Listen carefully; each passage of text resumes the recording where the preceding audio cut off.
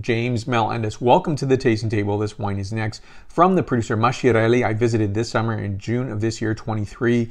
This is called Marina Cvetić Montepulciano d'Abruzzo, a 2019 vintage, 100% Montepulciano wine, 14.5% ABV, handsome, gorgeous wine, back label for you to look at here. Beautiful dark colorization, non-bitters, as you would expect on a Montepulciano wine.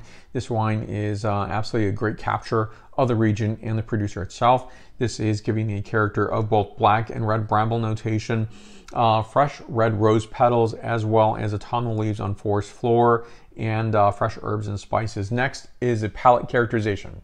Fresh wine, approachable tannins, velvety texture. On this, I'm getting a character of cassis as well as blackberry notes, pepper, and a absolutely gorgeous acidity, especially noticeable on the finish, and also spice notation on the finish. This wine is 95 points out of 100 points. I'll see you in the next video review. Stay tuned for more.